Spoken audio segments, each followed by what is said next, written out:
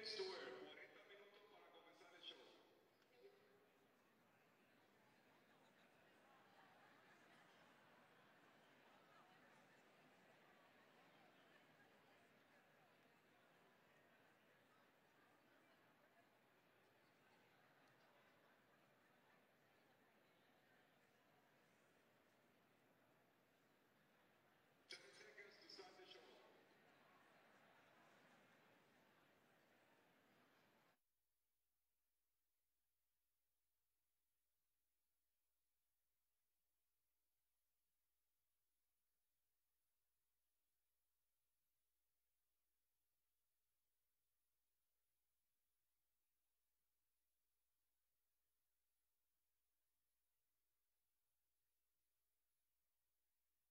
Noticias Univisión presenta un programa especial de Destino 2016. I want to raise incomes, not taxes. Some middle class families would be paying slightly more in taxes. We should be deporting criminals, not hardworking immigrant families. We have got to pass comprehensive immigration reform. We have the Affordable Care Act. Let's make it work. 29 million people still have no health insurance. I want colleges to get their costs down. They are outrageously high. Make every public college and university tuition free.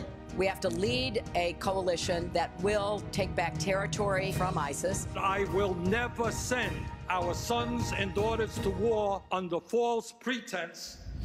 El debate demócrata. En vivo desde el Miami-Dade College en la Florida, con ustedes, María Elena Salinas y Jorge Ramos.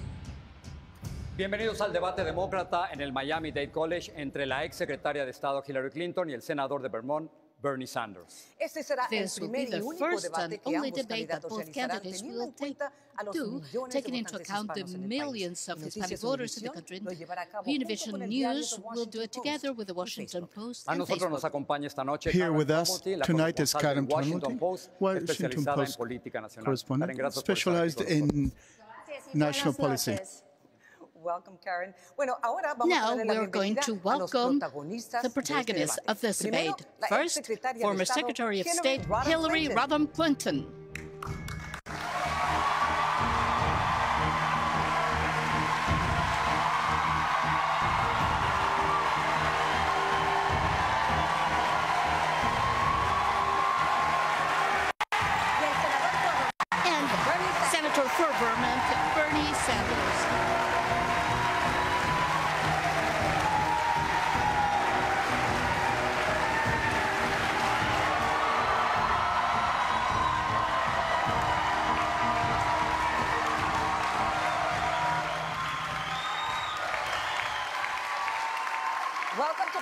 Thank you for being here. Bienvenidos a los dos.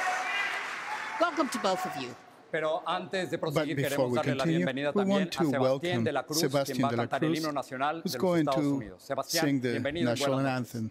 Sebastián, welcome. Good evening.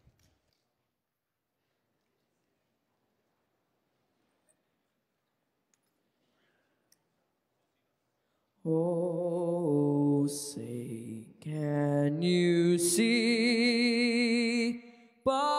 the dawn's early light what so proudly we held at the twilight's last gleaming?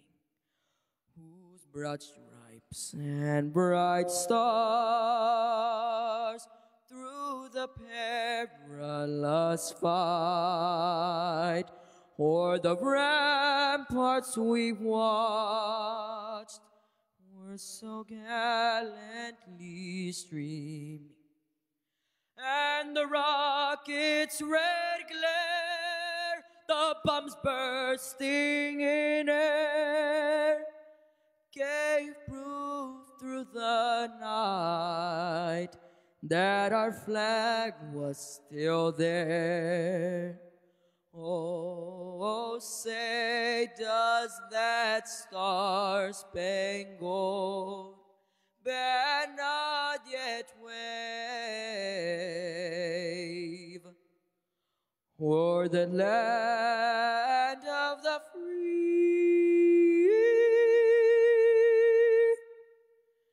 and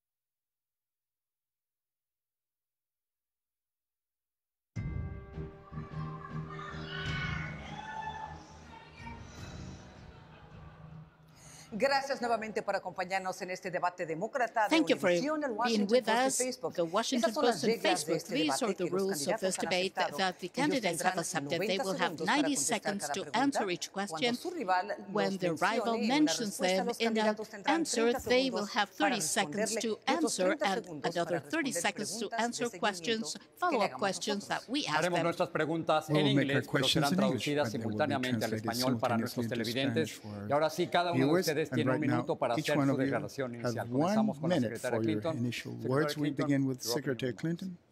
Thank you very much. I've been looking forward to this debate, and I want to thank Univision, Washington Post, Facebook, and Miami Dade College, the largest college in North America, uh, for hosting us here this evening. And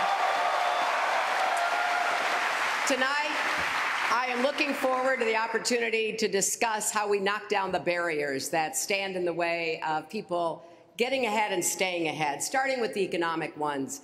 My focus is on more good paying jobs with rising incomes for families and how we prevent corporations from taking jobs out of our country by imposing an exit tax, making them pay back any tax breaks they've gotten.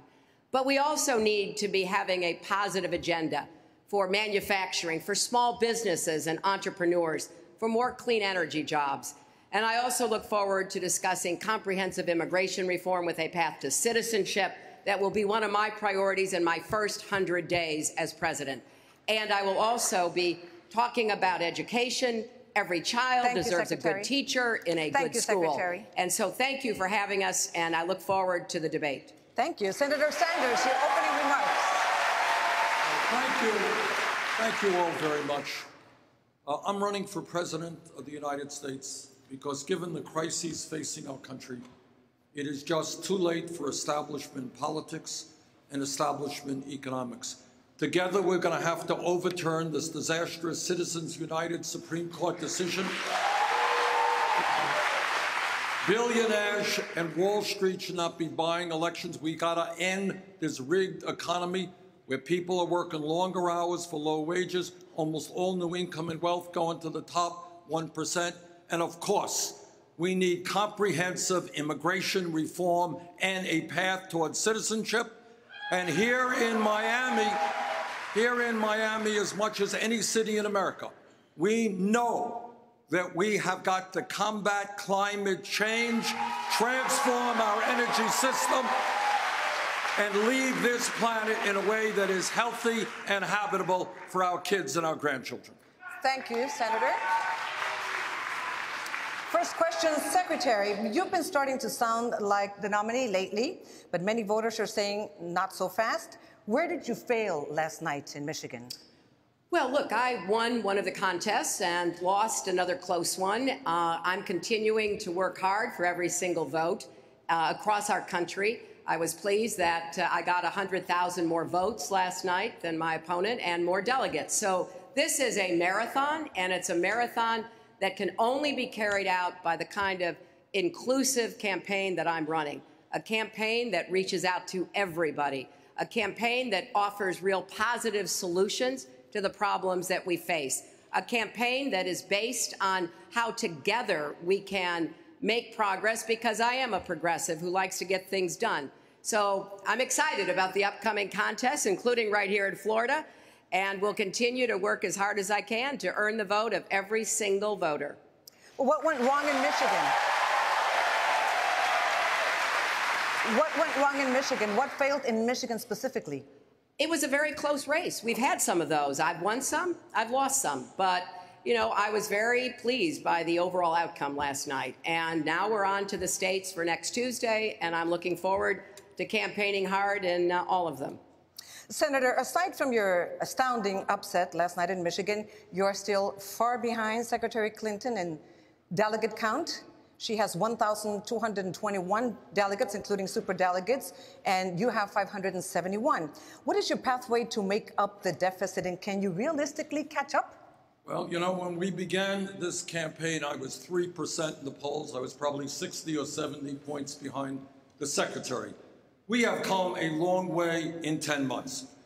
We have won, including Michigan last night, which some people considered one of the major political upsets in modern American history. We have won nine state primaries and caucuses.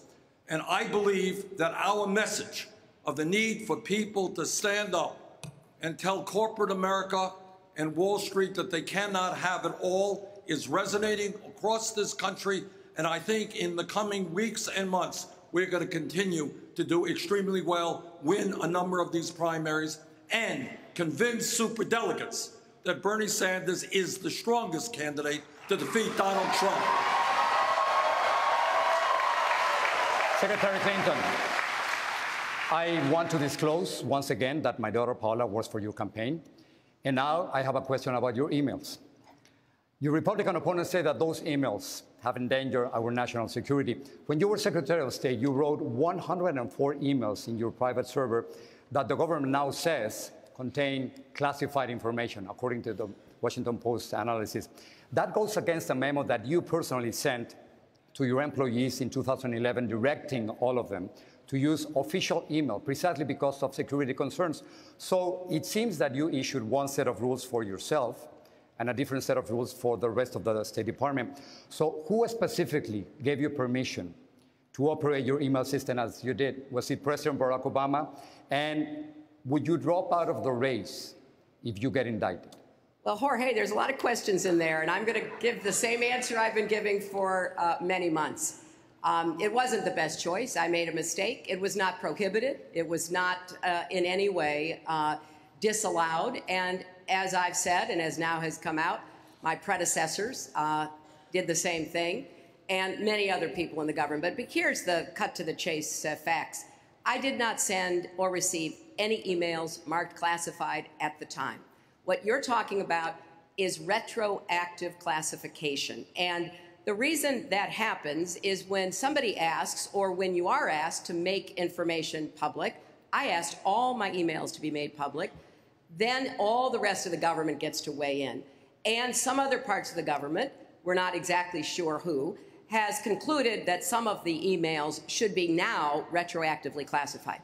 They've just said the same thing to former Secretary Colin Powell they have said we're going to retroactively classify emails you sent personally. Now, I think he was right when he said this is an absurdity. And I think that what we've got here is a case of overclassification. Who gave you permission? I am not concerned about it. I am not worried about it. And no Democrat or American should be either. The questions were Secretary Clinton.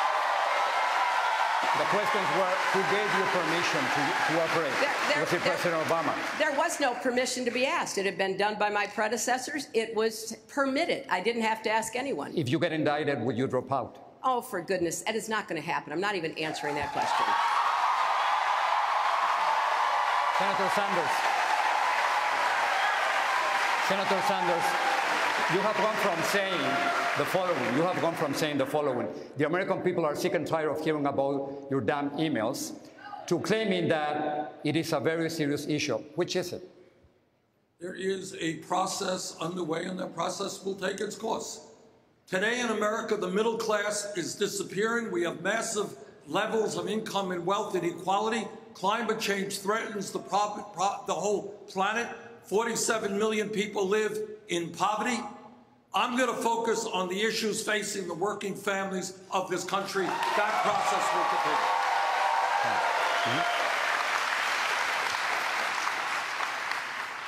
Secretary Clinton, you've known Donald Trump a long time. You've seen what kind of campaign he's running. Secretary Clinton, is Donald Trump a racist? You know, Karen, I'm going to follow my friend Senator Sanders' model here. Um, if I'm so fortunate enough to be the Democratic nominee, there will be a lot of time to talk about him. Um, I was the first one to call him out. I called him out when he was calling Mexicans rapists, when he was engaging in rhetoric that I found deeply offensive. I said, basta. And I am pleased that. Others are also joining in making clear that his rhetoric, his demagoguery, his trafficking in prejudice and paranoia uh, has no place in our political system, especially from somebody running for president who couldn't decide whether or not to disavow the Ku Klux Klan and David Duke. So And people so- can draw their own conclusions about him. But I will, I will just end by saying this. You don't make America great by getting rid of everything that made America great. And Secretary Clinton, question is about his character. And that is one of the primary things that Americans think about when they choose their next president. How would you describe the character of a person who has said the sorts of things he has about Mexican immigrants, about women, and who would ban people from entering this country based on their religion? I think it's un American. I think what he has uh, promoted uh, is not at all in keeping with American values, Karen. And I'm going to um, take every opportunity to criticize him, to raise those issues. I'm not going to engage in uh, the kind of uh, um, language that he uses. I think we can make the case against him if he is the nominee uh, by pointing out uh, what he has said, what he claims to believe in, the values he's promoting, and I think that's a better way for the American people to draw their conclusions. Senator Sanders, do you think it's fair to call Donald Trump a racist? This is what I think. Um, I think that the American people are never going to elect a president who insults Mexicans, who insults Muslims, who insults women, who insults African Americans. And let us not forget that several years ago, Trump was in the middle of the so called birther movement, trying to delegitimize the President of the United States of America. You know, I find it very interesting, Karen. My dad was born in Poland. I know a little bit about the immigrant experience. Nobody has ever asked me for my birth certificate. Maybe it has something to do with the color of my skin. So, so what does that tell you about his character? I think, and I am very pleased. I am very pleased that I think in the last national poll that I saw, we were running 18 points ahead of Donald Trump. On Facebook, millions of people are talking about immigration. And this map shows where in the country they are talking about it the most. Marilyn. So, Secretary, I have a question for you. In 2003, you said on a radio show, uh, specifically was John Gambling's radio show in New York, that you were adamantly against illegal immigrants and that people have to stop employing illegal immigrants. Your new immigration plan is that you would expand President Obama's executive actions and that you would push for legislation that would include a path to citizenship for undocumented immigrants. So, are you flip flopping on this issue or are you pandering to Latinos, what some would call hispandering? Well, in 2003, I sponsored the um, Dreamer Act. I sponsored it, uh, I think, in every Congress uh, after that. I have been consistent and committed to comprehensive immigration reform with a path to citizenship. I think our best chance was in 2007 when Ted Kennedy led the charge on comprehensive immigration reform. We had Republican support. We had a president willing to sign it. I voted for that bill. Senator Sanders voted against it. Just think, imagine where we would be today if we had achieved comprehensive immigration reform nine years ago.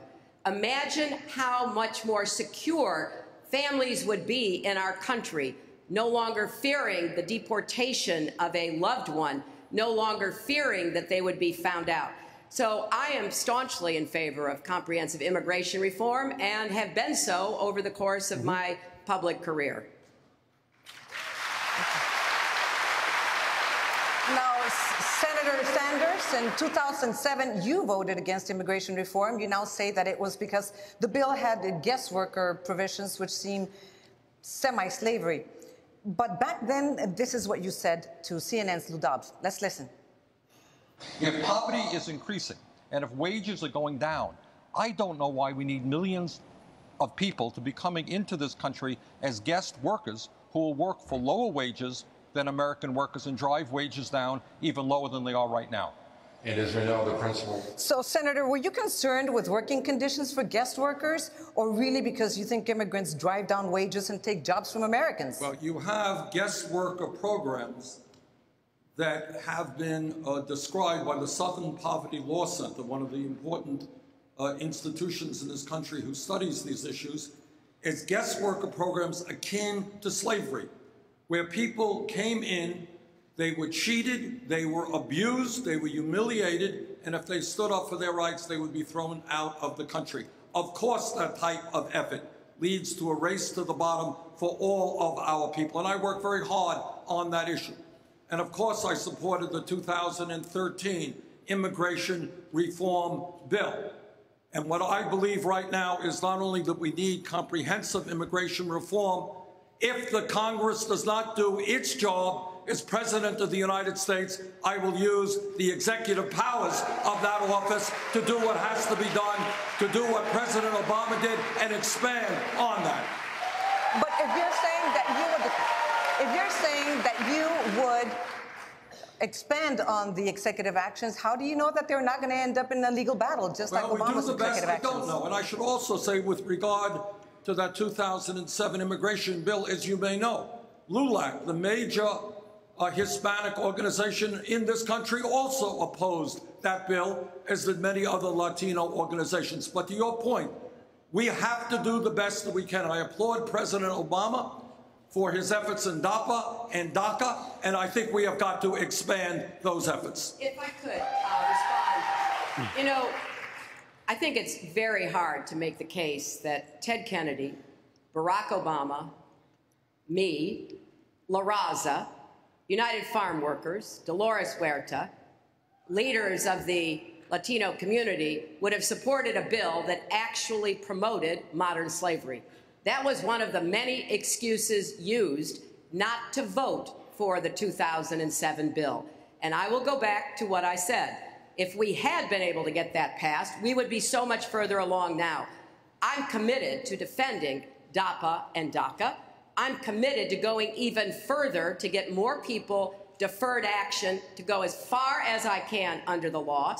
And I am committed to introducing comprehensive immigration reform with a path to citizenship in the first 100 days of my presidency. Secretary Sanders, Senator, would you like to respond? Well, when we talk about efforts to assist uh, immigrants, um, Secretary Clinton prevailed upon the governor of New York, Eliot Spitzer, who wanted to do the right thing and provide driver's license to those who are undocumented. She said, don't do it. And New York State still does not do it. In Vermont, by the way, I work with officials and undocumented people in Vermont do have the ability to get driver's license. When we talk about immigration, the Secretary will remember that one of the great tragedies, human tragedies of recent years, is children came from Honduras, where there's probably more violence than almost any place in this country, and they came into this country. And I said, welcome those children into this country. Secretary Clinton said, send them back. That's a difference. Let me respond again because the misrepresentation can't go unanswered here. Uh, first of all, uh, that is something that uh, is not fair about what I said. I did say we needed to be very concerned about little children coming to this country on their own very often, many of them not making it. And when they got here, they needed, as I have argued for, legal counsel, due process to make a decision. We need to end private detention. We need to end family detention.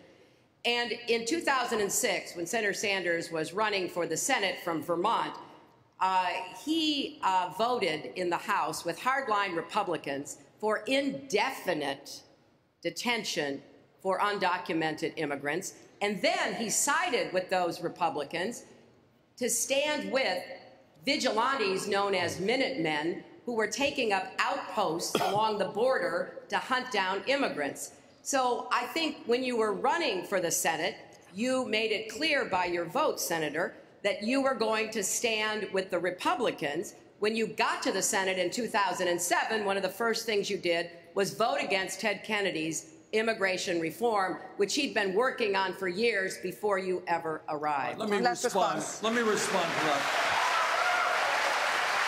Go ahead. You know, Ted Kennedy was a very close friend of mine, and I served on the committee that he chaired, the Health Education Labor Committee.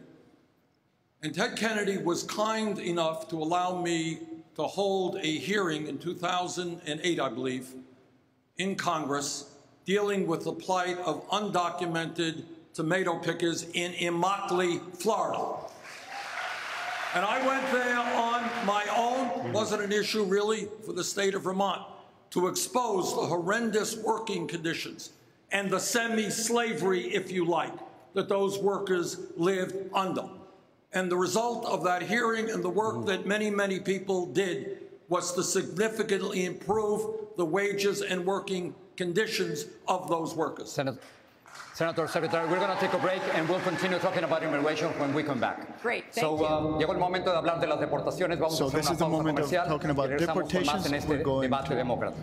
Bueno, no se pierda ningún momento del debate. Vaya a la página de Facebook de Univisión Noticias y acompáñenos en Facebook Live. Díganos lo que piensa del debate en la sección de comentarios. you of Regresamos.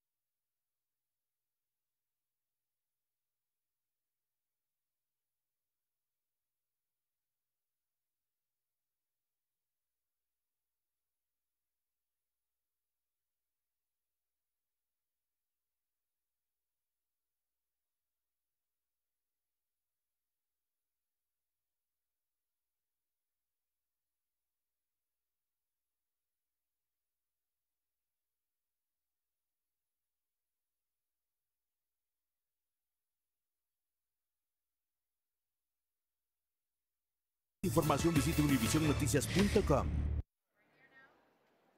Nosotros seguimos aquí We continue here live y estamos midiendo by Univision, and we're measuring with this screen en tiempo real en the Facebook, lo que están following the conversation, political conversation, what you are talking at home about our debate at home in real time. We'll start seeing what women are talking about our debate nationwide ver en torno a qué gira la about conversación y our debate.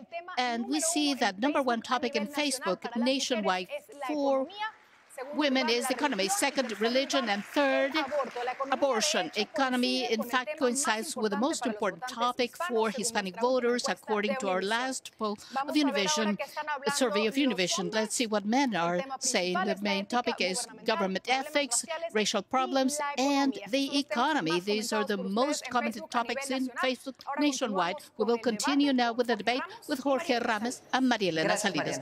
Gracias. Regresamos con el debate demócrata patrocinado por Univision, The Washington Post y Thank you. Facebook. We're back to Um, the Secretary Democratic Clinton, debate. the last time we talked uh, in January in Iowa, I asked you if you could become, if you could be the next deporter in chief, and you told me no, that you wouldn't be the next deporter in chief. However, you ref- refused two times to say that you would not deport children. This is what you said. that you won't deport children? And can you promise that you won't deport immigrants who don't have a criminal record? Here's what I can promise, Jorge. I can promise that I will do everything possible to provide due process. Will you deport children? Let me say this I would give every person, but particularly children, due process to have their story told. And a lot of children will, of course, have very legitimate stories under our law to be able to stay. So, Secretary, you seem to be defending President Obama's deportation policies, and as you know, so far he has deported more than two and a half million immigrants. So, if you really don't want to be the next deporter in chief, can you promise tonight that you won't deport children and that you won't deport immigrants who don't have a criminal record? And this time, could I get a yes or no answer? Yes, you can, because the question you were asking me were about children seeking asylum. And we have laws. That was the most critical thing I said. Under our laws, I would like to see those laws changed. I would like to see added to them a guaranteed counsel and other support for children. But if you're asking about everyone who's already here, undocumented immigrants, the 11, 12 million who are living here, my priorities are to deport violent criminals, terrorists, and anyone who threatens our safety. So I do not have the same policy as the current administration does. I think it's important that we move toward comprehensive immigration reform, but at the same time, stop the raids, stop the roundups, stop the deporting of people who are living here, doing their lives, doing their jobs, and that's my priority. Uh, But again, yes or no, can, can you promise tonight that you won't deport children, children who are already here? I, I will not deport children. I would not deport children. I do not want to deport family members either, Jorge.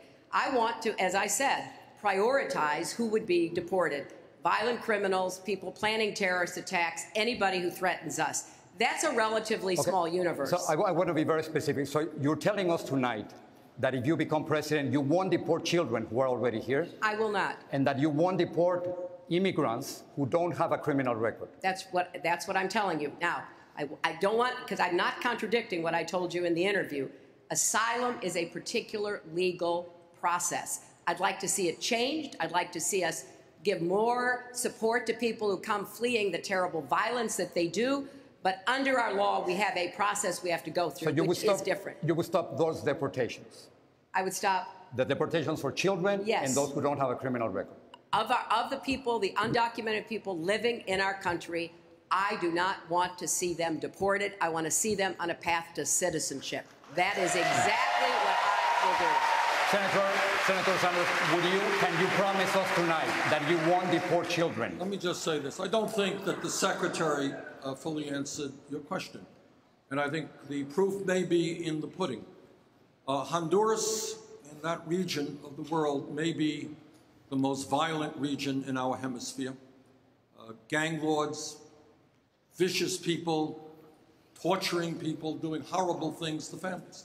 Children fled that part of the world to try, try, try, maybe, to meet up with their family members in this country taking a route that was horrific, trying to start a new life. Secretary Clinton did not support those children coming into this country. I did. Now, I happen to agree with President Obama on many, many issues. I think he's done a great job as President of the United States.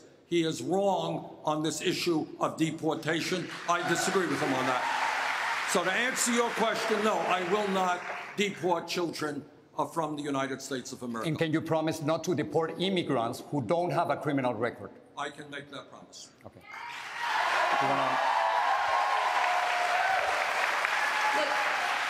Th- This is why I go back to that 2007 vote, because if we had been successful then, a lot of the issues we are still discussing today would be in the rearview mirror. I want us to be able to achieve comprehensive immigration reform uh, if I'm so fortunate enough to be president. And we do have to take a look at asylum laws. When I was Secretary of State, I worked to try to support uh, many different approaches to ending the violence in Central America. I was there meeting with leaders, security leaders, and others, and I think the Congress should support the president's request to fund programs that would protect people and change the culture of criminality and violence in Central America, helping people be able to stay safely in their homes and countries. Let me just answer. I want to get back to this 2007 immigration bill. It's true that Ted Kennedy, a good friend of mine, and I think of the secretaries, did work very hard on that bill. But does anyone really believe that if that bill was all so good as the secretary is touting, that LULAC and other major Latino organizations, the largest Latino organizations in this country, said no to that bill? And I worked very hard in improving the guest worker provisions so that in 2013, a bill I strongly supported, people who were in the guest worker program in America would not be treated like slaves. Well, let me just let me just conclude by saying that United Farm Workers considered that bill, in their words, the last best hope for farm workers and immigrants. They have proven to be right in the succeeding years. I only hope that we can put together a coalition to pass comprehensive immigration reform uh, in the next Congress.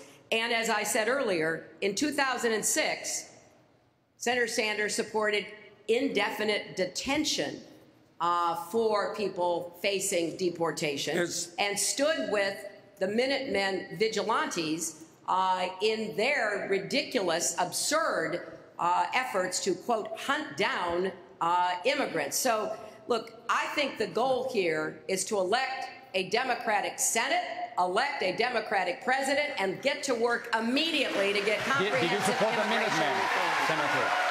Did you support the Minutemen? I'm sorry? Did you support the Minutemen as Secretary Of course not. There was a piece of legislation supported by dozens and dozens of members of the House which codified existing legislation. What the Secretary is doing tonight and has done very often is take large pieces of legislation and take pieces out of it.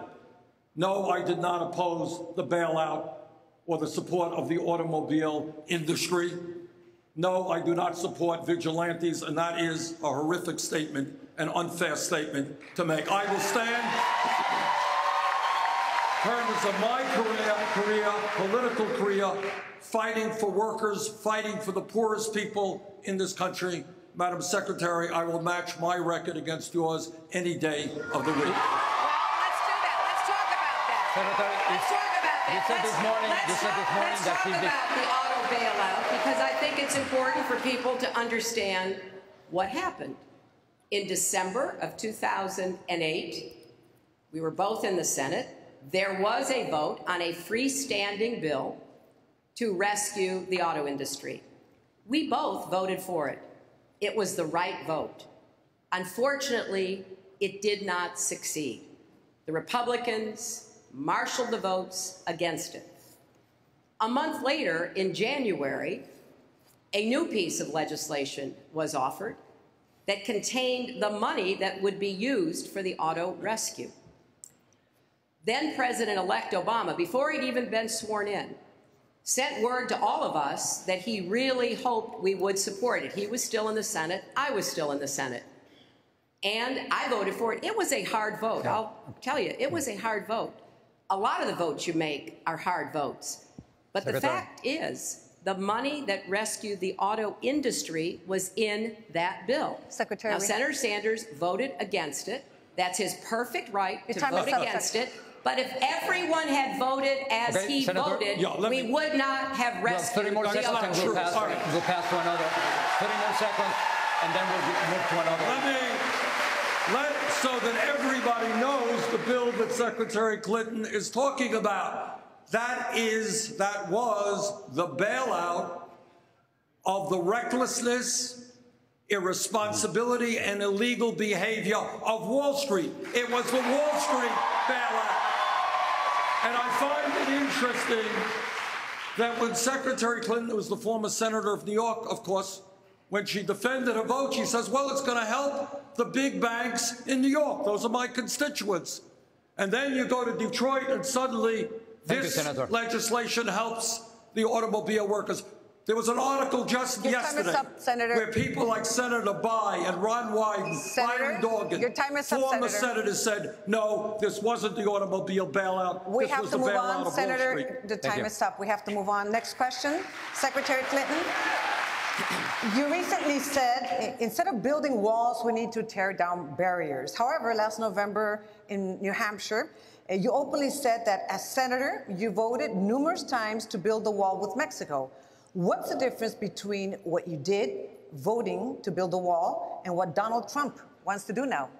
Well, I think both of us, both Senator Sanders and I, voted numerous times to enhance border security uh, along our border. Uh, we increased the number of border security agents. We did uh, vote for money to build a fence, a pedestrian fence in some place, a vehicle fence in other places. And the result is that we have the most secure border we've ever had. Apprehensions coming across the border are the lowest they've been in 40 years, which just strengthens my argument that now it's time to do comprehensive immigration reform. The Republicans, the opponents, no longer have an argument. And certainly we hear a lot coming from the Republican side that is absolutely out of touch with reality. We raised money through the congressional appropriations process. We enhanced the border security. That part of the work is done. Everybody that I know has looked at it says, okay, we have a secure border. There's no need for this rhetoric and demagoguery that still is carried out on the Republican side. You've run out of excuses. Let's move to comprehensive immigration reform with a path to citizenship. And I think that makes a very strong argument in favor of doing it. But the question is, what is the difference between the wall that you voted for and Donald Trump's wall? It's a big difference. I mean, first of all, as I understand him, he's talking about a very tall wall, right? A beautiful tall wall. Uh, the most beautiful tall wall, better than the Great Wall of China, that would run the entire border, that he would somehow magically get the Mexican government to pay for. And, you know, it's just fantasy. And in fact, if he cared to know anything about what members of Congress, like the senator and I, have done, where it was necessary, we did support some fencing. Where it was necessary, we did add Border Patrol agents. We have done what, by any fair estimate, would have to conclude is a good job, quote, securing the border. So let's get about the business of comprehensive immigration reform. Let me just Senator. The Secretary and I mostly, I think, agree on this issue. Look, in this country, immigration reform is a very hot debate. It's divided the country. But I would hope very much that as we have that debate, we do not, as Donald Trump and others have done, resort to racism and xenophobia and bigotry. This idea of suddenly one day or maybe a night rounding up 11 million people and taking them outside of this country is a vulgar, absurd idea that I would hope very few people in America support. Your time is up, Senator. Thank you. Now we have a question from the audience for both of you. Tenemos una pregunta de nuestra audiencia. We Pasamos have a con Enrique question from the Muchísimas gracias, María. Secretaria Clinton, senador Sanders, quiero presentarles a Lucía Quieje, ella es una inmigrante guatemalteca, está aquí con sus cinco hijos, quienes no han visto a su padre desde que fue deportado hace tres años. I want to go to Lucía Quieje. She's an immigrant from Guatemala. She's here with her five children who have not seen their father since he was deported three years ago. She has a question for both of you. Doña Lucía, ¿qué le quiere preguntar a los candidatos? Quiero yo preguntarle que yo tengo un gran dolor, yo y mis hijos, porque el padre de mis hijos fue deportado sin tener licencia, por no tener licencia. Él era un hombre trabajador Hardworking campo de la construcción. ¿Qué pueden hacer ustedes para parar las deportaciones y reunificar, reunificar las familias? Senator Sanders, as, as you can see, this is a very painful and personal issue for Lucia and her family. She wants to know what you would do to stop deportations, but most importantly, to reunite families like hers. Well, I absolutely support that. Uh, at the heart of my immigration policy, and I should say that the New York Times uh, editorial board called my immigration policy uh, the most uh, progressive and the strongest of any candidate running. But to answer your question, the essence of what we are trying to do is to unite families, not to divide families. The idea, the, the idea that a mother is living here and her children are on the other side of the border is wrong and immoral. Number of months ago, I talked to a young man who was serving in the United States military. And while he was serving in the military, his wife was deported. That is beyond comprehension and policies that should not be allowed to exist. So, ma'am, I will do everything that I can to unite your family. Your children deserve to be with their mother. Thank you, Senator Sanders. Yes. Secretaria Clinton, usted también ha dicho que no quiere separar a más familias, pero ¿cuál es su plan para reunificar a familias como la de Lucía y para unir a miles de niños estadounidenses con sus padres? Secretary Clinton, you've also said you want to stop deportations, but what's your plan to reunite families and thousands of children, U.S. citizens, with their parents?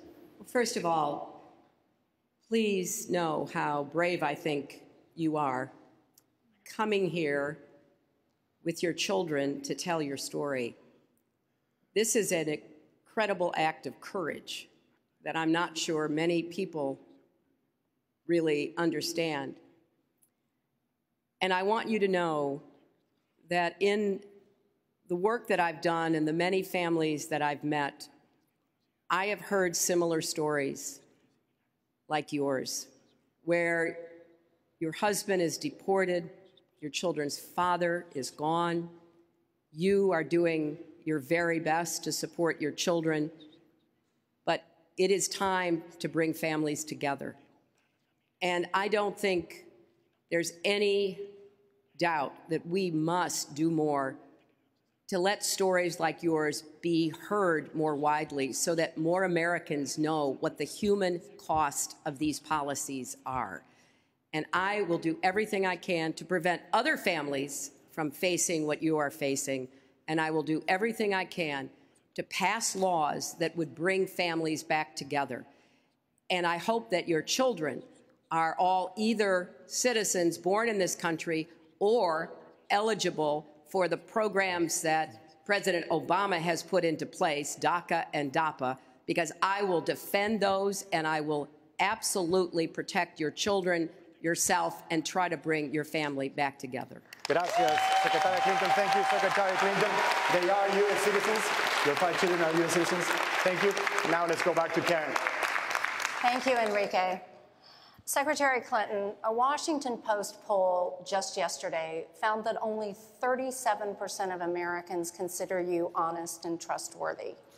Now, when you've been asked about this in the past, you have said that this is the result of many, many years of Republican attacks upon you.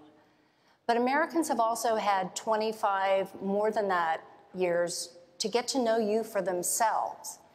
Is there anything in your own actions and the decisions that you yourself had made that would foster this kind of mistrust?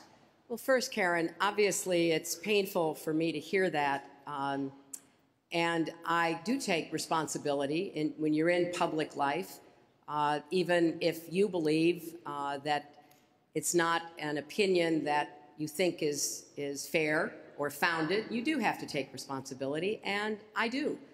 Um, and I also have, you know, very much committed to the best of my ability my energies and efforts to helping people.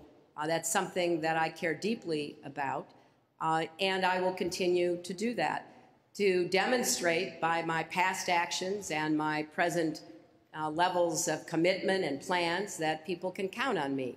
Uh, that is certainly what happened to me in New York, where um, people got to know me, they saw me in action, and they did. Um, look, I have said before, and it won't surprise anybody to hear me say it, this is not easy for me. Uh, it's not easy to uh, do what I think is right, uh, to help people, to even the odds, to hear a story like the woman's story we just heard, um, and to know that I can make a difference and I want to in every way possible. I am not a natural politician, in case you haven't noticed, like my husband or President Obama. Um, so I have a view that I just have to do the best I can, get the results I can, make a difference in people's lives, and hope that people see that I'm fighting for them and that I can uh, improve conditions economically and other ways that will benefit them and their families. Thank you. Thank you.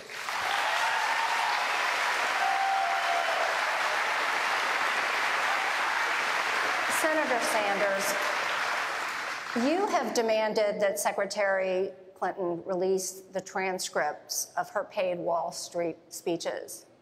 Why is this important? Do you have reason to believe that she says one thing in private and another in public?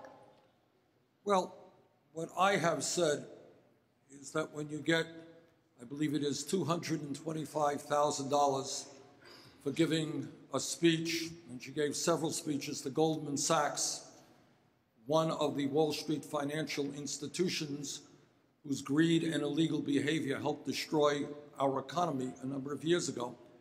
When you get paid $225,000, that means that that speech must have been an extraordinarily wonderful speech. So does this mean that, that you would not And think I she would, have to disclose? I would think that a speech so great that you got paid so much money for, you would like to share it with the American people. So I think she should release the transcript. So you're saying the, the Secretary said, well, she will do it if other people do it. I will do it. I didn't give any speeches. There is no transcript. But my question was, do you think she's saying one thing in these speeches and another in public? That is exactly what releasing the transcripts will tell us. This I do know. This I do know. There is a reason why Wall Street has provided $15 million just in the last reporting period to the Secretary's super PAC. Now, the Secretary says it doesn't influence her. Well, that's what every politician says who gets money from special interest. The question that the American people have to determine, you know, you could say that Wall Street is greedy, they're fraudulent, but they're not dumb. Thank you, Thank you Senator. Why are they making those kind of large contributions? Thank you. Your time is up. Well, let me let, let me respond as I Yes. have numerous times uh, during this campaign. You know, I have a public record, and you can go look it up. I went to Wall Street before the Great Recession and basically called them out, said that their behavior was putting our economy at risk, called for a moratorium on foreclosures. I went to the Orlando area during the 08 campaign to make the same case, visiting with families who had been defrauded by mortgages, these subprime mortgages that put them and their Thank you. homes Thank at you, risk. Secretary Clinton. I called for those changes. I have been on the record, and now I do have the toughest, most comprehensive plan to go after Wall Street and not just the big banks, mm. all the other financial interests that pose a threat to our economy. And I have said no bank is too big to fail and no executive is too powerful to jail. And I will use the powers that have now been passed by the Congress, by President Obama, who, incidentally, took a lot of money from Wall Street, which didn't stop him from signing into law the toughest regulations on the financial industry since the Great Depression. Look, clearly, clearly, the secretary's words to Wall Street has really intimidated them. And that is why they have given her $15 million in campaign contributions. Thank you. Thank Now, you. what- Thank you, Senator. What I believe is, in fact, that we have a corrupt campaign finance system. And it's not just Wall Street, it's the drug companies who have received millions of dollars Thank you, from the fossil fuel industry. We've got to overturn Citizens United and Well, end wait a minute. Now, I, I just think it's worth pointing out that the leaders of the fossil fuel industry, the Koch brothers, have just paid to put up an ad praising Senator Sanders. You know, there are a lot of different powerful interests in Washington. Secretary. I've taken them on. I took on the drug companies. I took on the insurance companies. Before there was something called Obamacare, there was something called Hillary Care, and I worked really hard gonna move to on. get comprehensive health care reform, and they beat me. So We're gonna I, move have on to a, the next. I have a long record of standing up to special interests, and I will continue to do so. We have a. We're, we're going to move on to the next to the next question, and it's. Um, Uh, Can I just Go ahead, briefly go ahead, look, please. you have 30 seconds, Senator. There is nobody in the United States Congress who has taken on the Koch brothers who want to destroy Social Security, Medicare, Medicaid, and virtually every federal program passed since the 1930s more than Bernie Sanders.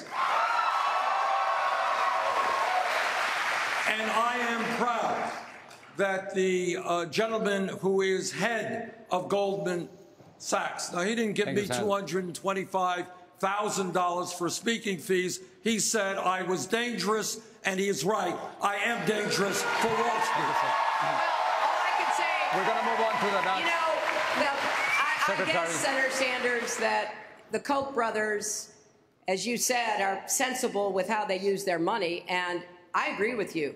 They stand for things that I find abhorrent, that would be bad for our country, bad for our future. But they did just put up a little video praising you for being the only Democrat who stood with the Republicans to try to eliminate the Export Import Right. Bank, which has helped hundreds and hundreds of companies here in Florida be able to export their goods Okay, I think- and employ more Floridians. So, All right, from my you- perspective, both of you you have had sided enough with the of Koch time. brothers. Let me respond. You Yeah, just a few the. Export-Import Bank is often called the Bank of Boeing because Boeing Corporation gets 40% of the revenue. We're gonna move It on. is corporate welfare, and yes, I oppose corporate welfare. Okay, next. Next question. We're gonna. I want to continue with the issue of trust, Secretary Clinton. On the night of the attacks in Benghazi, you sent an email to your daughter Chelsea saying that Al Qaeda-like group was responsible for the killing of the Americans. However, some of the families claim that you lied to them. Here's Pat Smith, the mother information officer, Sean Smith. Let's listen. Hillary and Obama and Panetta and Biden and, and all of Susan Rice all told me it was a video when they knew, they knew it was not the video. And they said that they would call me and let me know what the outcome was. Secretary Clinton, did you lie to them? You know, look, I feel a great deal of sympathy for the families of the four brave Americans that we lost at Benghazi. And I certainly can't even imagine the grief that she has for losing her son. But she's wrong. She's absolutely wrong. I and everybody in the administration, all the people she named, the president, the vice president, Susan Rice, we were scrambling to get information that was changing literally by the hour. And when we had information, we made it public, but then sometimes we had to go back and say we have new information that contradicts it. Uh, so I testified for 11 hours. Anybody who watched that and listened to it knows that I answered every question that I was asked, and when it was over, the Republicans had to admit they didn't learn anything. Why? Because there had already been one independent investigation, there had been seven or eight congressional investigations, mostly led by Republicans, who all reached the same conclusions that there were lessons to be learned. And this is not the first time we lost Americans in a terrorist attack. We lost 3,000 people on 9 11. We lost Americans serving in embassies in Tanzania and Kenya when my husband was president. We lost over 250 Americans, both military and civilian, Secretary. when Ronald Reagan was president in Beirut. And at no other time of those tragedies were they politicized. Instead, people said, let's learn the lessons and save lives, and that's what I did. Secretary Clinton, but what they are saying is that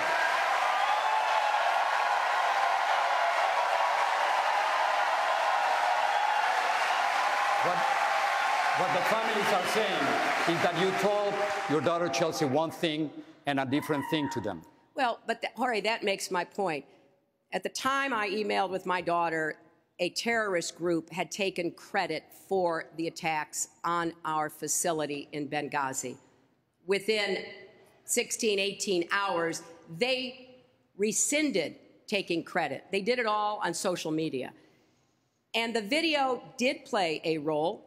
We have captured one of the lead terrorists, and he admits it was both a terrorist attack and it was influenced by the video. This was fog of war. This was complicated.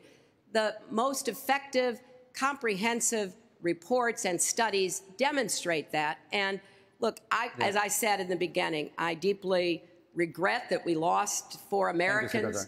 And I, of course, sympathize with members of the families uh, who are still, you know, very much grieving. And I, I wish that there could be an easy answer at the time, but we learned a lot, and the intelligence kept Thank improving, and we learned enough to say what we think happened uh, at Benghazi. You have 30 seconds, Senator.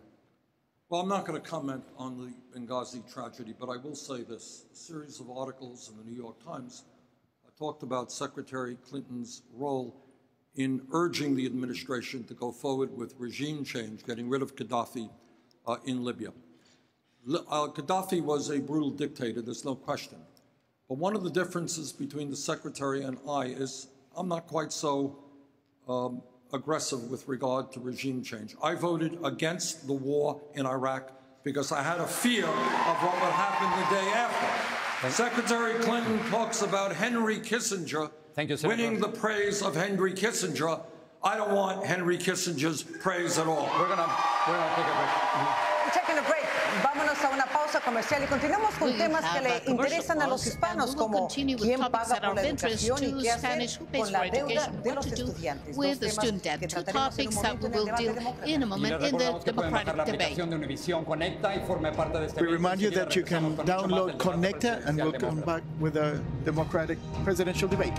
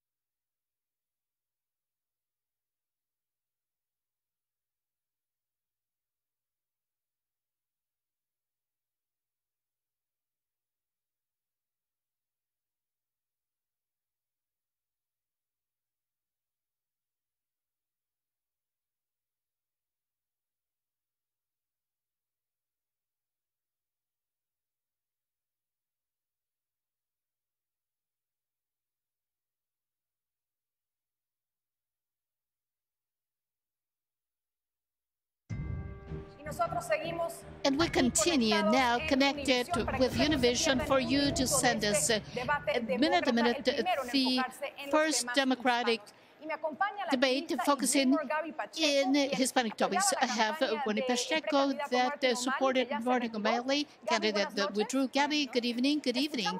We heard a lot about immigration, about uh, the deportations and raids. In your opinion, who defended him or herself better, and who represented the immigration proposal?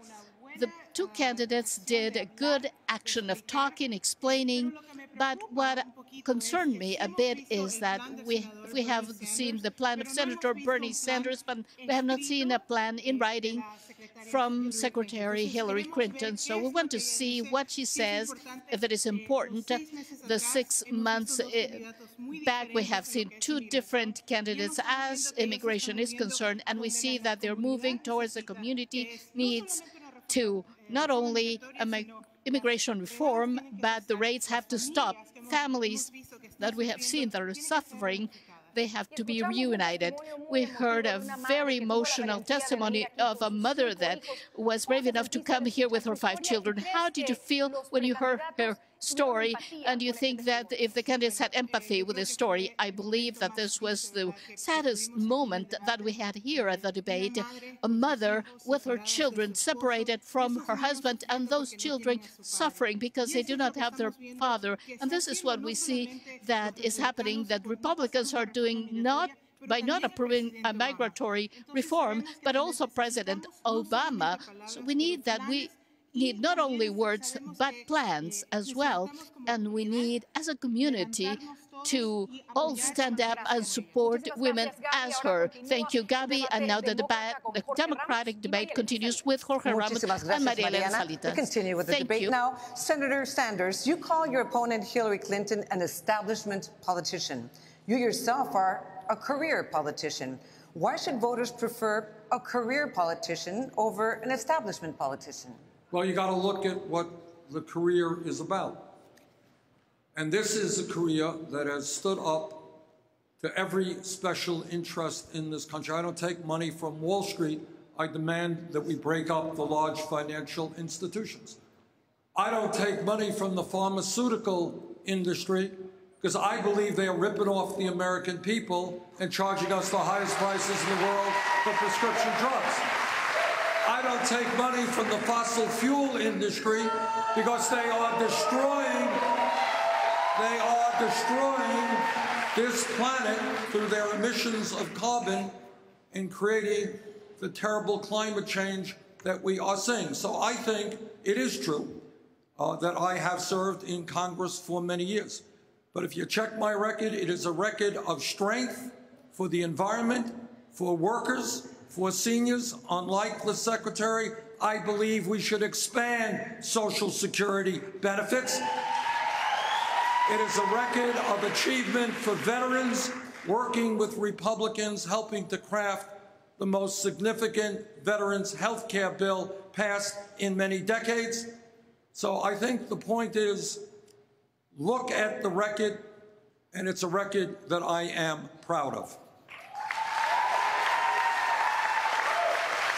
Secretary, you know, for Latinos, uh, according to the Univision Washington Post poll, the number one issue is jobs and the economy. Latino employment rate is higher than the national average. Their net worth has gone down 43% during the Obama years, and 60% of Latinos make less than $15 an hour. So last week you tweeted that for the GOP, the economy is an afterthought. Well, many Latinos feel that they are an afterthought.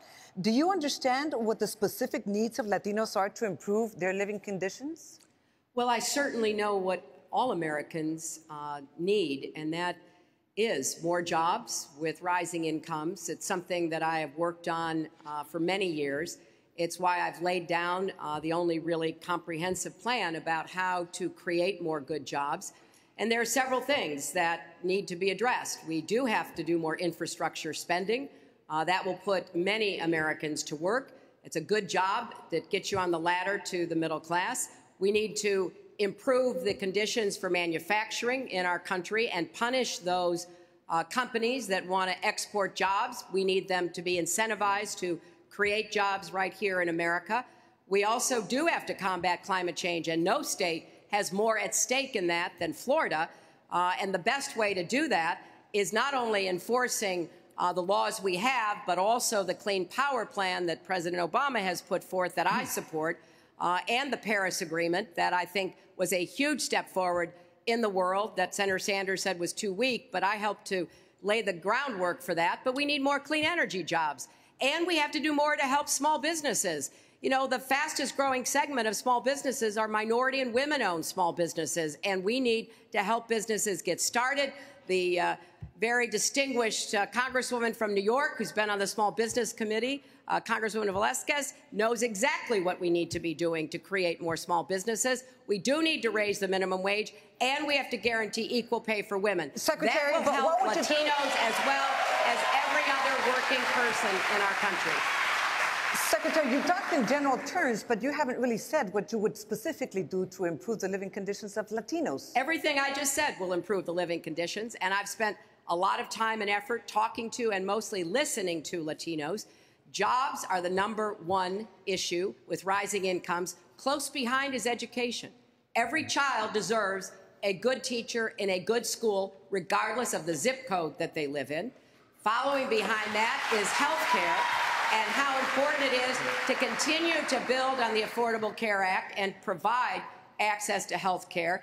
And then there are a number of other issues, comprehensive immigration reform certainly being Your time is up, uh, at the top. Secretary. Sorry, your time is up. Okay, let me answer that question because it's a huge question. And one of the huge, I know.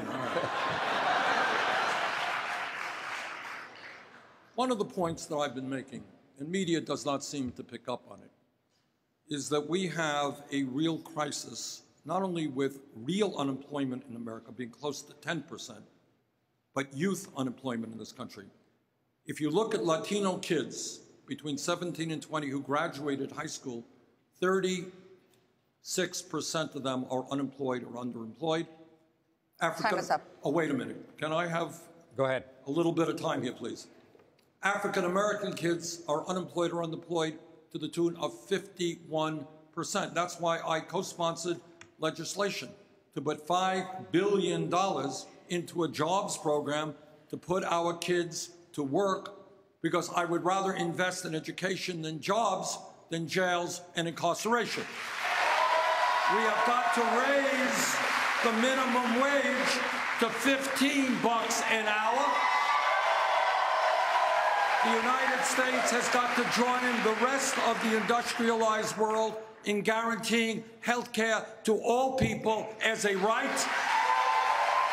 We need to rebuild our crumbling infrastructure. And when we do that under my plan, we create 13 million decent paying jobs. Thank you, Senator.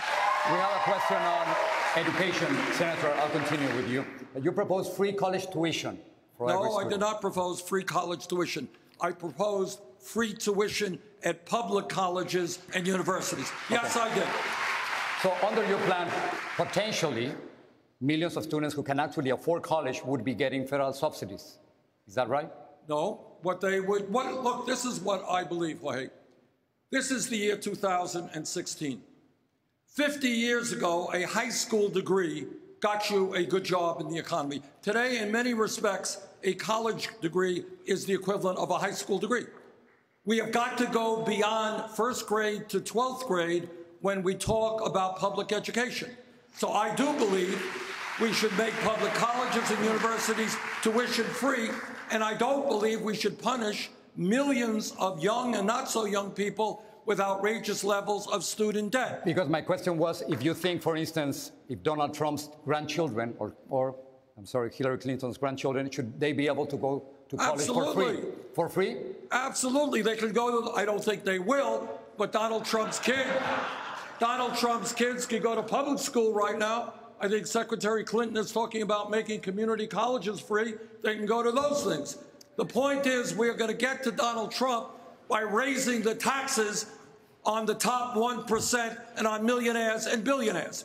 But all of our people, in my view, regardless of income, should have a right to get a higher education. I want children in the third grade to know that if they study hard, no matter what the income of their families. My family didn't have any income. My parents didn't go to college. They didn't have good income.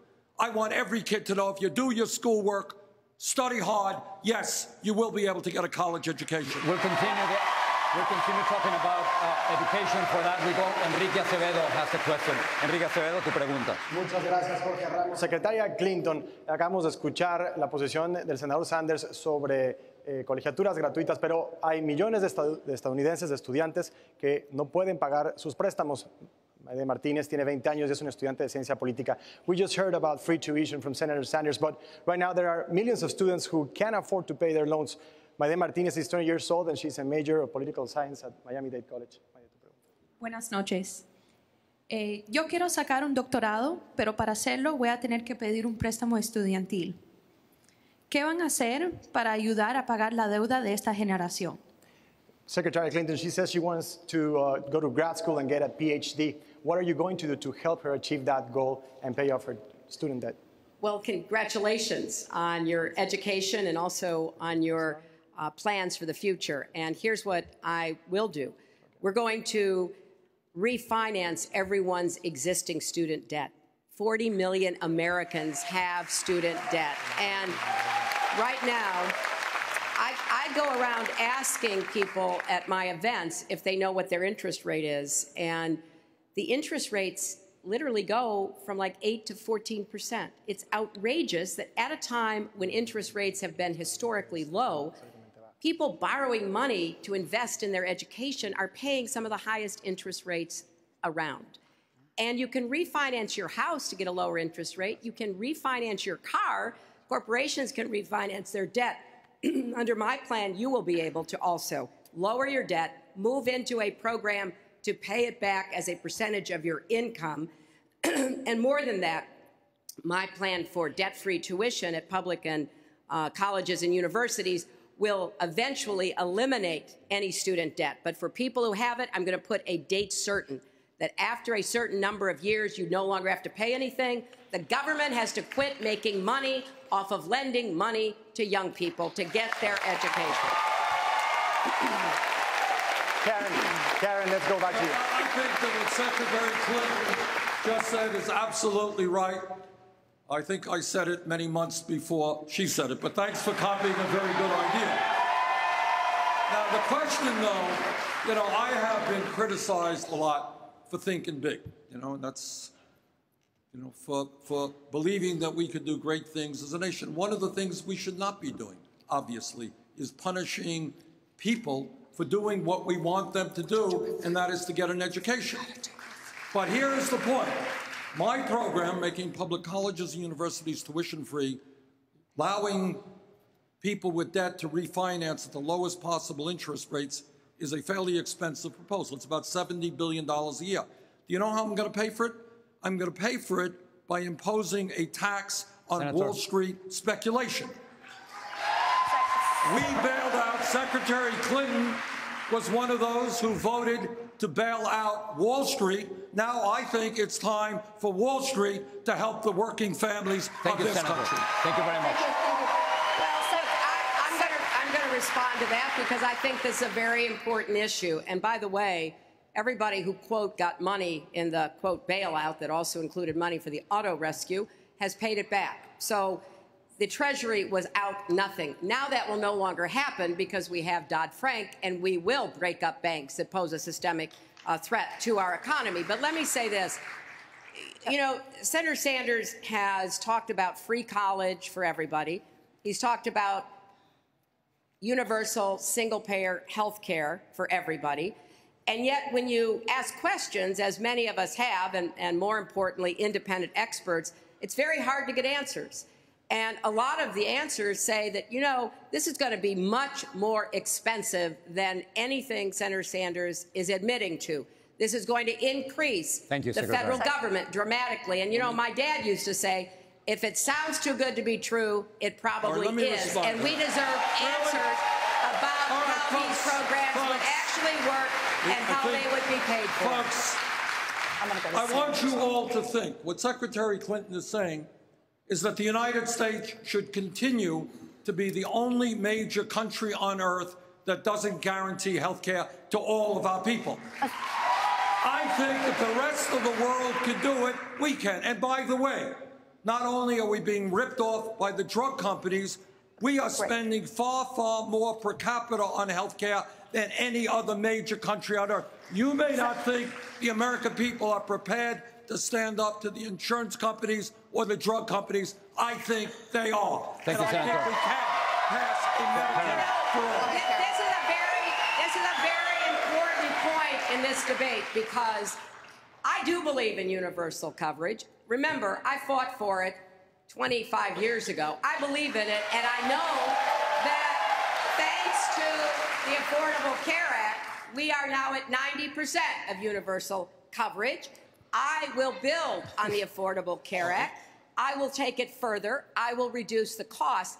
But I just respectfully disagree between the Republicans trying to repeal the first chance we've ever had to get to universal health care and Senator Sanders wanting to throw us into a contentious debate over single payer. I think the smart approach is build on and protect the Affordable Care Act, make it work, reduce the cost. Okay. I am on the committee. I know a little bit about this. I'm on the committee, Health Education Labor Committee, that helped write the Affordable Care Act. And it has done a number mm-hmm. of good things. But when Secretary Clinton says, well, 90% of the people have insurance, yeah, not really. Many of you may have insurance, but you have outrageously high deductibles and copayments. One out of five Americans cannot afford the prescription drugs their doctors prescribe. Oh. Elderly people are cutting their pills in half. I do believe that we should do what every other major country on earth does. And I think when the American people stand up and fight back, yeah, we Thank you, can have Senator. Okay, wait, a I'm- Medicare for all health care I'm going to call time here because I want to move on to a subject that more than two dozen Florida mayors have asked us to raise with you. They have asked us to share with you their concern over the effects of rising sea levels and climate change in their communities. Just take a look at this map. You can see that no state has more at stake than Florida does, and no city has more at stake than Miami, the city in which we are sitting. But many Republicans argue that this is not a man made problem. Senator Sanders, is it possible to move forward on this issue if you do not get a bipartisan consensus? And what would you do? Well, first of all, Karen, when you have Republican candidates for president and in Congress telling you that climate change is a hoax, which is Donald Trump and other candidates' position, what they are really saying is we don't have the guts to take on the fossil fuel industry. What candidates are saying is if we stand up to the fossil fuel industry and transform our energy system away from coal and oil and gas to energy efficiency and wind and solar and geothermal and other sustainable technologies, do you know what happens to that Republican who listens to the scientists? On that day, that Republican loses his campaign funding from the Koch brothers and the fossil fuel industry. So you've just described the problem, but how would you move forward given that this is the situation? the way I would move forward in every other area. And what we are doing in this campaign is fighting not only to become president, but I'm the only candidate who says no president, not Bernie Sanders, can do it all. You know what we need, Karen? We need a political revolution in this country.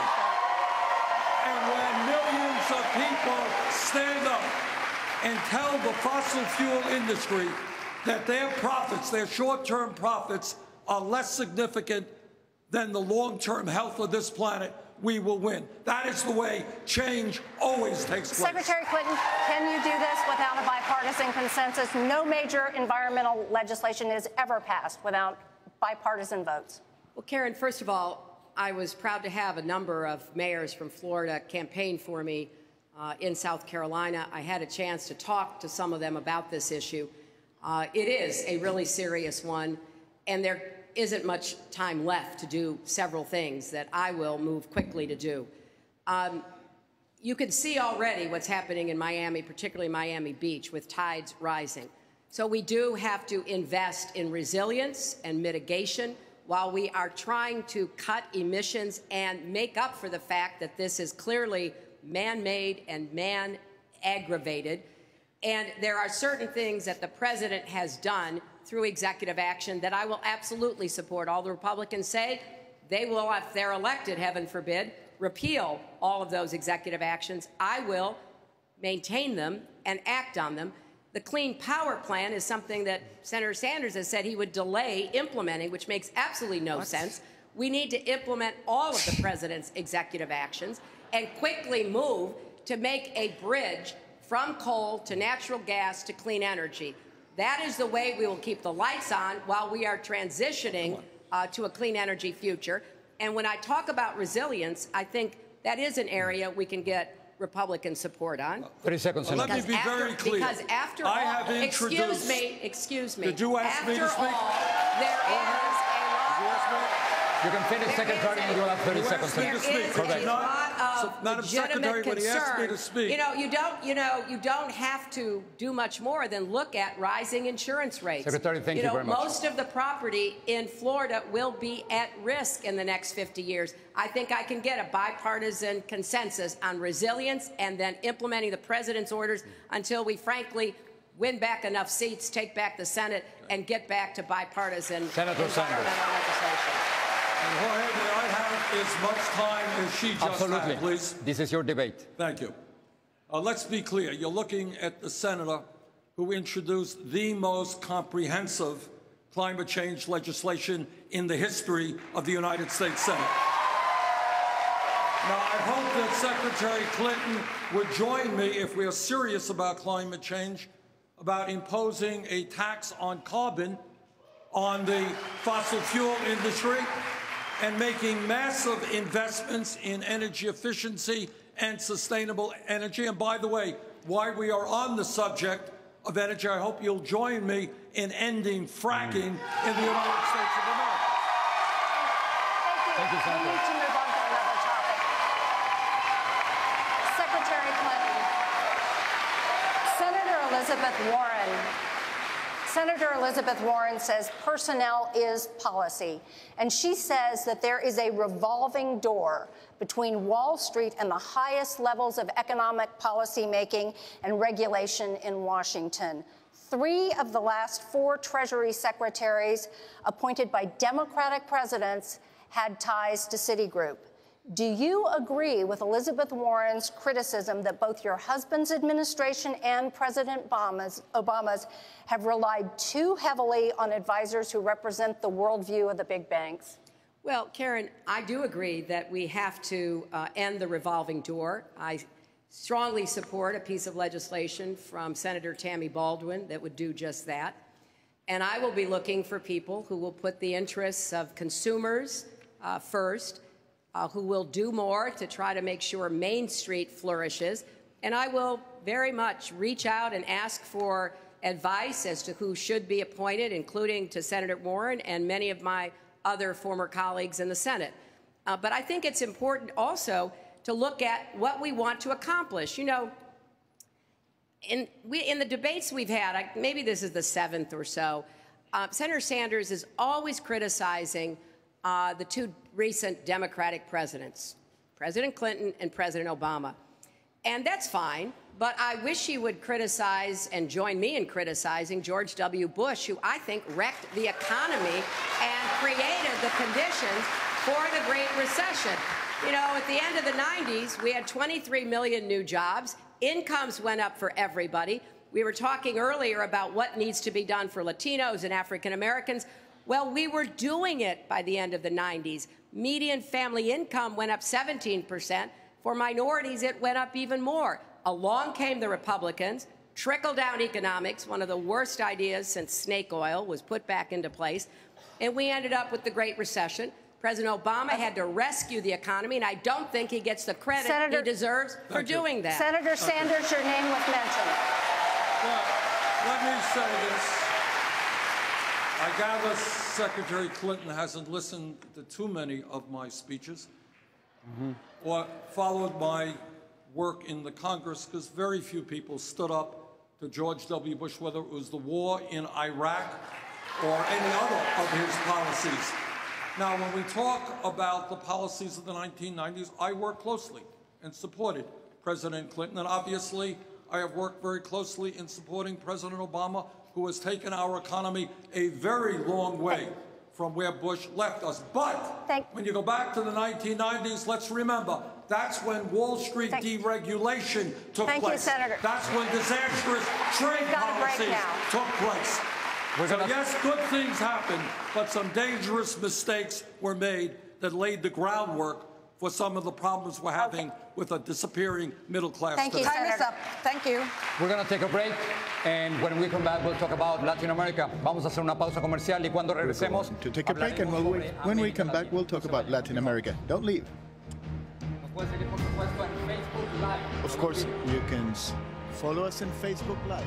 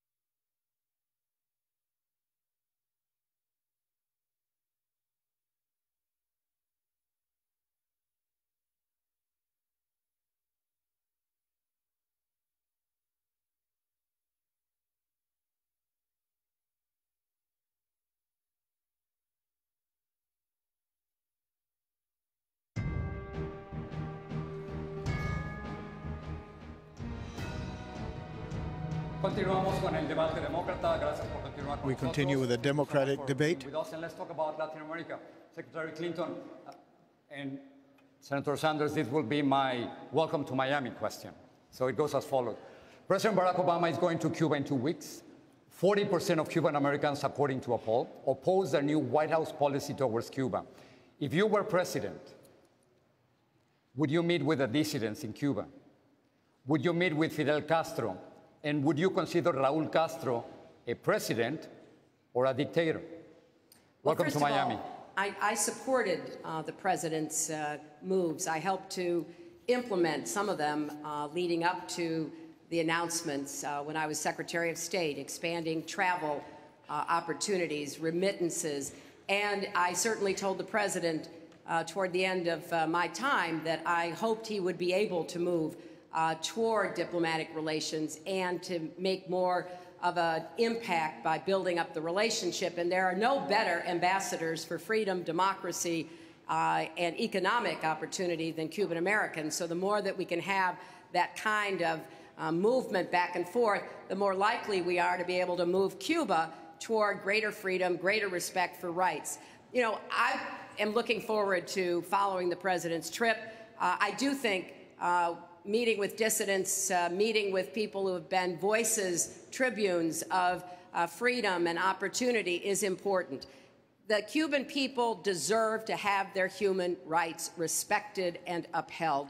They deserve to be able to move toward democracy where they pick their own leaders. And I think both Castros uh, have to be considered authoritarian and dictatorial because they are not freely chosen by the people that uh, are in Cuba. I hope someday uh, there will be leaders who are chosen uh, by the Cuban people, and I hope that democracy will be deeply rooted in Cuban soil and that the people of Cuba will have every opportunity to fulfill their own dreams in their own country. That is my hope. On, on Facebook, Senator by the way, this is the conversation that everybody's having, talking about Cuba. Senator Sanders, so Uh, Look, I understand that not everybody in Florida uh, or in the United States will agree with me. Uh, But I think we have got to end the embargo. I believe that we should move toward full uh, and normalized political relations with Cuba. I think at the end of the day, it will be a good thing for the Cuban people. It will enable them, I think, when they are see people coming into their country from the United States move in a more democratic direction, which is what I want to see. The So time is right- up. Can, I'm sorry. let's continue with another question, Senator, if you don't mind. Sure. Uh, in 1985, you praised the Sandinista government and you said that Daniel Ortega was an impressive guy. Uh, this is what you said about Fidel Castro. Let's listen. You may recall way back in, what was it, 1961, they invaded Cuba. And everybody was totally convinced that Castro was the worst guy in the world, that all the Cuban people were going to rise up in rebellion against Fidel Castro. They had forgot that he educated their kids, gave them health care, totally transformed the society. In South Florida, there are still open wounds among some exiles regarding socialism and communism. So please explain what is the difference between the socialism that you profess and the socialism in Nicaragua, Cuba, and Well, Venezuela? let me just answer that. What that was about was saying that the United States was wrong to try to invade Cuba, that the United States was wrong trying to support people to overthrow the Nicaraguan government, that the United States was wrong trying to overthrow in 1954 the government, democratically elect- elected government of Guatemala. Throughout the history of our relationship with Latin America, we've operated under the so-called Monroe Doctrine. And that said that the United States had the right to do anything that they wanted to do in Latin America. So I actually went to Nicaragua, and I very strongly opposed the Reagan administration's effort to overthrow that government. And I strongly opposed earlier uh, Henry Kissinger uh, and the uh, to overthrow the government of Salvador Allende in Chile. I think the United States should be working with governments around the world, not get involved in regime change. And all of these actions, by the way, in Latin America brought forth a lot of very strong anti-American sentiments. That's what that was about. Senator, in retrospect, have you ever regretted the characterizations that you made of Daniel Ortega and Fidel Castro that way? I, I'm sorry, please. In retrospect, have you ever regretted the characterizations of Daniel Ortega and Fidel Castro that you made in 1985? The key issue here was whether the United States should go around overthrowing small Latin American countries. You didn't I think that question. that was a mistake, both in Nicaragua and Cuba. Look, let's let's look at the facts here. Cuba is, of course, an authoritarian undemocratic country, and I hope very much as soon as possible it becomes a democratic country. But on the other hand, on the other hand, it would be wrong not to state that in Cuba they have made some good advances in health care. They are sending doctors all over the world. They have made some progress in education. I think by restoring full diplomatic relations with Cuba, it will result in significant improvements to the lives of Cubans, and it will help the United States and our business community Thank invest. you, Senator. Your time is up on that. Thank you. Secretary Clinton, I have a question on Puerto Rico. Puerto Rico is bankrupt. It owes more than $70 billion it cannot pay, and we have a question from Facebook. Lilan Rivera is asking you the following. I would like to know if during the first 100 days of your presidency, you will help Puerto Rico restructure its public debt and help its economy. The first 100 days, Secretary. Absolutely, although I hope it happens before I am president, if I'm so fortunate enough to be. I have been calling for months that the Congress must give authority to Puerto Rico to restructure its debts, just like it has, it has enabled states and cities to restructure their debt. And it is a grave injustice for the Congress, led by the Republicans, to be refusing uh, to enact that opportunity within the bankruptcy law. And what we see in Puerto Rico now is a lot of suffering. We see, you know, schools being closed. We see health care uh, being denied. And we see a thousand Puerto Rican families a month moving to the United States, mostly to Florida. Puerto Ricans are citizens of America. They deserve to be treated as citizens and to be given the opportunity to get back on their feet economically. And, and I just want to add one thing to the question you were asking, Senator Sanders. I think in that same uh, interview, he praised what he called the revolution of values in Cuba and talked about how people were working for the common good, not for themselves. I just couldn't disagree more. You know, if the values are that you oppress people, you disappear people, you imprison people, even kill people for expressing their opinions, for expressing freedom of speech, that is not the kind of revolution of values that I ever want to see anywhere.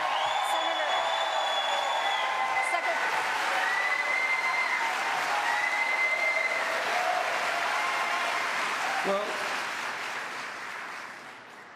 as I said earlier, I don't believe it is the business of the United States government to be overthrowing small countries around the world.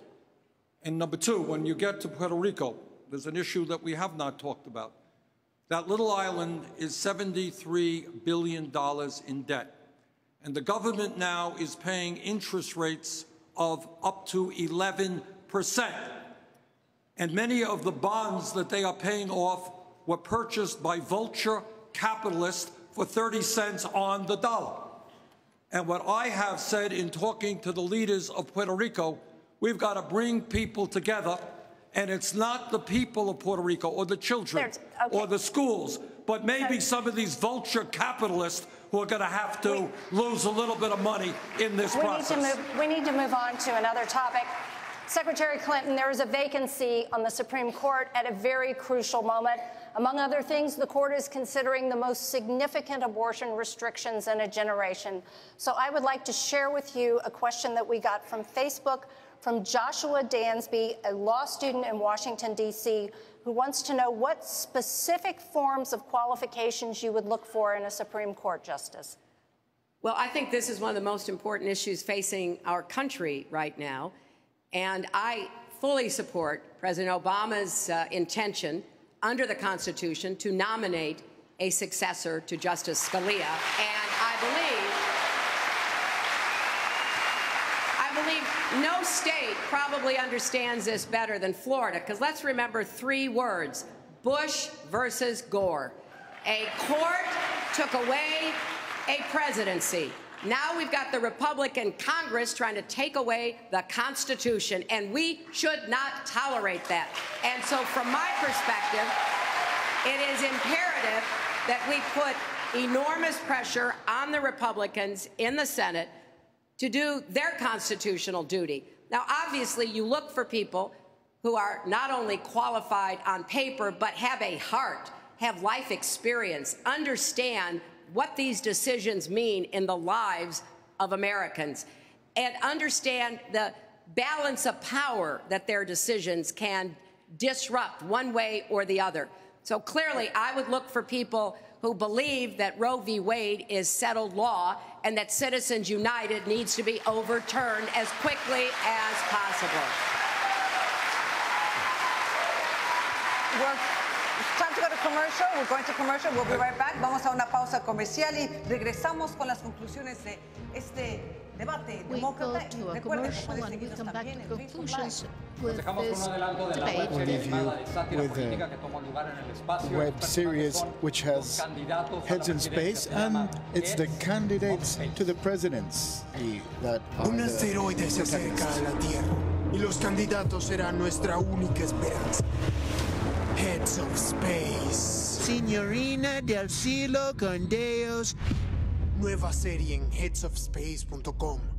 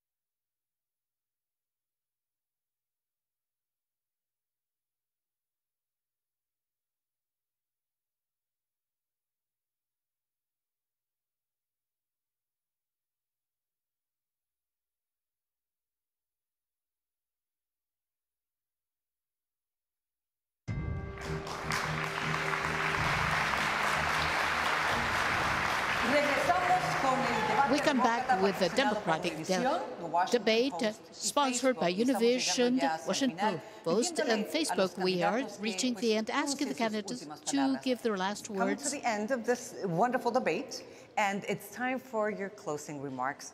Secretary Clinton, you're first. Well, thank you very much for a lively debate, and I appreciate greatly all the questions, especially the questions uh, in person from the people here and those coming at us uh, from Facebook. It just reinforces my strong commitment to do everything I can to break down all the barriers that stand in the way of people living up to their own potential and of our country doing the same. So I am going to take on those economic barriers. I have a plan to create jobs and raise incomes. I'm going to take on the education barriers that often leave too many children behind even after they have completed schooling. I'm going to take on the health care barriers. I'm going to do everything I can to make sure that we unite our country. I will find common ground, just as I have as First Lady, as Senator, and Secretary of State. I will also mm-hmm. stand my ground wherever matters of principles and values are at stake. I would be honored to have your support in the upcoming primaries on Tuesday and hope to have the great honor of serving you as your president. Senator Sanders, your closing remarks. Well, this has, this has been a wonderful debate, uh, but time being limited, some of the most important issues facing our country have not been asked. And that is, is it acceptable that in America, the top one-tenth of 1% now owns almost as much wealth as the bottom 90%? Is it acceptable that while the average American works longer hours for lower wages, 58% of all new income is going to the top 1%? Is it acceptable that Wall Street and billionaires are spending hundreds of millions of dollars trying to buy elections?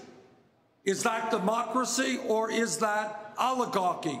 Which is why I believe we've got to overturn Citizens United and move to public funding of elections.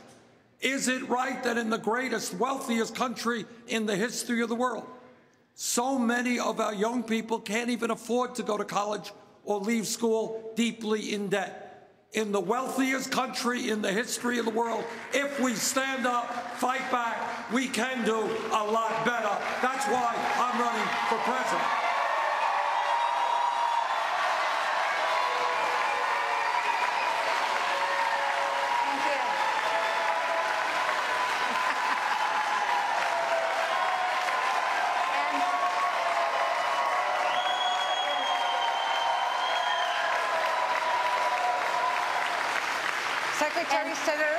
Thank both of you for, for being here, for, for joining us tonight. And of course, we want to thank also the wonderful crowd that was here today. Our audience has been wonderful. And thank you all for being here.